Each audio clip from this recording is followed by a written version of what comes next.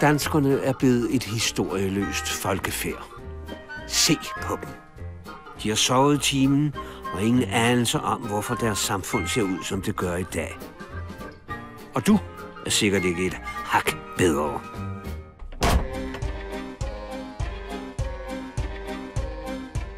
I den sorte skole er det tilbage på skolebænken, og jeg skal personligt sørge for, at I aldrig glemmer Danmarks historiens vigtigste begivenheder.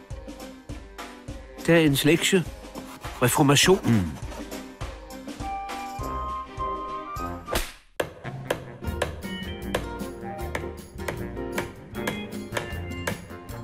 Reformationen er en afgørende begivenhed, der fortæller om, hvordan danskerne gik fra at være rettroende katolikker til at være dydige protestanter. Det er på grund af reformationen, at vi i dag forstår, hvad præsten siger i kirken. Og styrter det med ildsøen, der brænder med ild og svål. Hvor vil de da ikke råbe om barmhjertighed? For reformationen førte nemlig til, at gudstjenesterne kom til at foregå på dansk i stedet for latin. Og så er reformationen forresten også grunden til, at paven kun har været på besøg i Danmark en enkelt gang.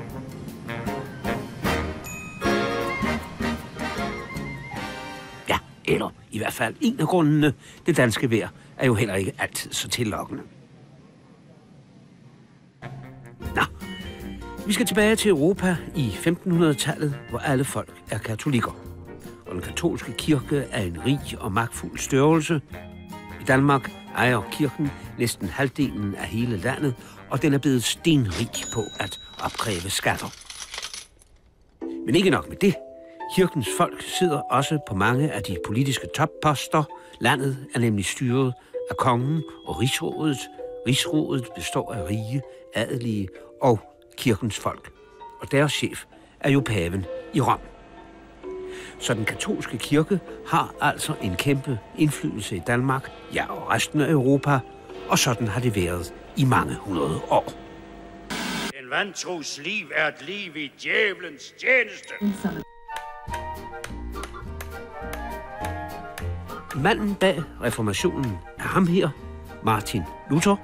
Ikke at forveksle med ham her. Det er jo en anden Martin Luther.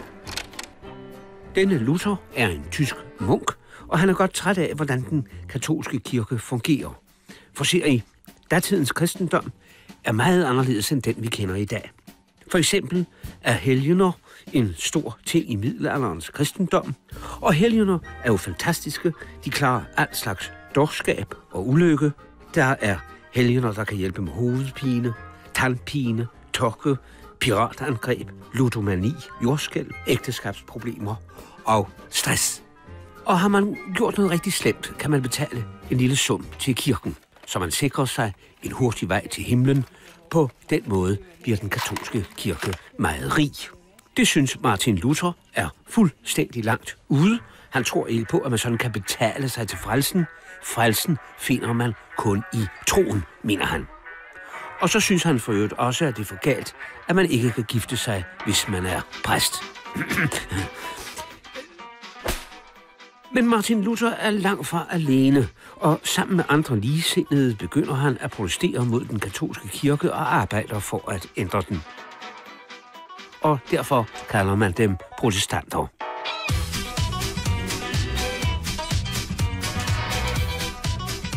I starten af 1500-tallet spreder disse idéer sig i Europa, og det kommer til voldsomme sammenstød mellem protestanter og katolikker, og da kirken jo sidder med en kæmpe magt, er det ikke bare et spørgsmål om, hvad der er den rette tro, men også om, hvem der skal bestemme over troen.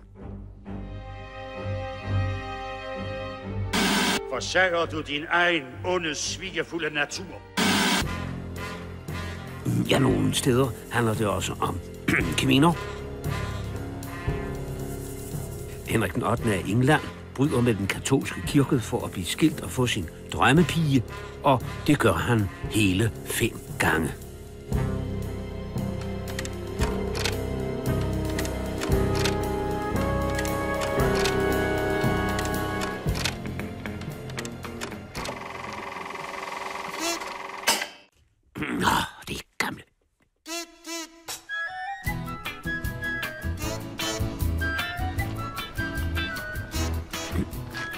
Lima. vi skal hjem til Danmark. Den synske munk Hans Tausen har været i Tyskland og hørt Martin Luthers forelæsninger, og han tager de nye tanker med hjem til Danmark. Herhjemme bliver folk stærkt inspireret af Hans Tausens nye idéer om at reformere kirken. Mange håber også at kunne slippe for at betale kirkeskat.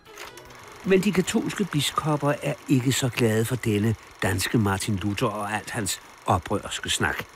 Vældigvis sørger kongen Frederik den første for, at der ikke sker Hans tavsen noget, og kongen indfører endda religionsfrihed i Danmark. Det ser altså godt ud for de danske protestanter. Men så går det galt. Vi skal til året 1533. Hans Tavsens beskytter Frederik den første dør, og det danske rigsråd ved ikke, om de bør vælge Frederiks søn Christian til konge. Især katolikkerne i rigsrådet er ikke glade for Christian, fordi han er nyklækket protestant. Så rigsrådet beslutter simpelthen at styre landet uden konge. Og det giver problemer, så det basker. Nemlig For landets bønder og byens borgere vil ikke finde sig i ikke at have en konge. Så Danmark slynges ud i en drabelig borgerkrig, underklassen mod overklassen, ja, en meget rodet affære, som I alligevel aldrig vil kunne huske. Oprøret slås ned, men for at få ro på sagerne, vælger de alligevel den protestantiske Christian som konge, selvom katolikkerne brokker sig. Det har de også god grund til.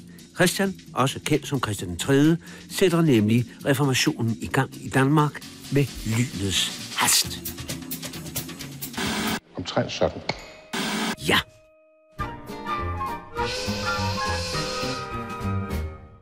Og nu er det ikke længere paven, men kongen selv, der er den danske kirkes overhoved, og han nupper kirkens ejendom, deres jorder, huse, gårde og borge. Inde i de danske kirker sker der også nye ting. Nu foregår gudstjenesten på dansk og ikke latin. Præsten får en flot stol at tale fra, og der kommer bænke i kirken, så man kan sidde ned og lytte godt efter. Og kalkmalerierne bliver malet over, så kirkegængerne ikke bliver distraheret. Paven, ja, han er stiktosset over, at halvdelen af Europa ikke længere betaler for hans fine kirker og private her. Og der skal gå flere hundrede år, før nogen katolsk pave besøger Danmark. Men på trods af de sure paver fortsætter den reformerede kristendom i Danmark. Munkene og nonnerne flygter fra klosterne. Der er jo ikke så meget ved at gå i kloster, når man kan sidde derhjemme med den kristne lærer og blive frelst i ro og mag. Ja, og præsterne gifter sig i et væk. Danskerne glemmer deres mange helgener, måske med undtagelse af Sankt Hans. Og selvom det kan knibe med at fylde kirkerne op i dagens Danmark, så er det stadig Martin Luthers protestantisme, som er landets officielle religion. Og det var så historien om, hvordan danskerne gik fra at være katolikker til at være protestanter, for senere at blive juletræs dansende hedninge. Farvel.